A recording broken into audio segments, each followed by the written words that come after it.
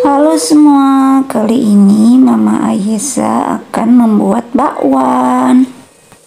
Bahan yang digunakan yaitu pertama ada wortel, kemudian ada kol, kemudian daun bawang, tepung terigu, ada garam, juga penyedap ya.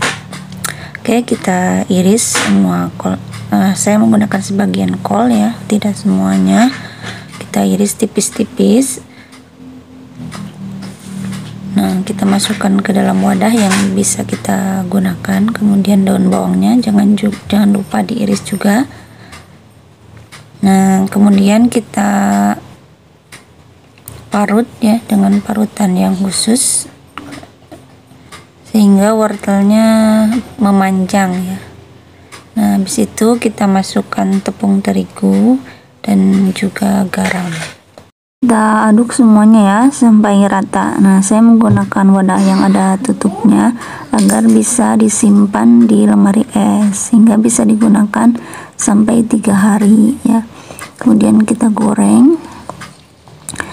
Uh, apinya sedang ya jangan terlalu besar dan jangan terlalu kecil nah ini tipsnya agarnya itu minyaknya harus banyak ya. Jadi semua adonan bakwan yang kita goreng itu semuanya terendam oleh minyak. Jika dirasa sudah kering bakwannya bisa segera ditiriskan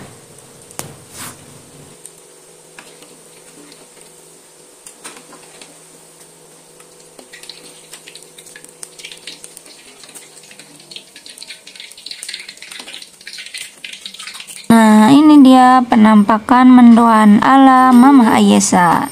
Selamat mencoba, Bunda.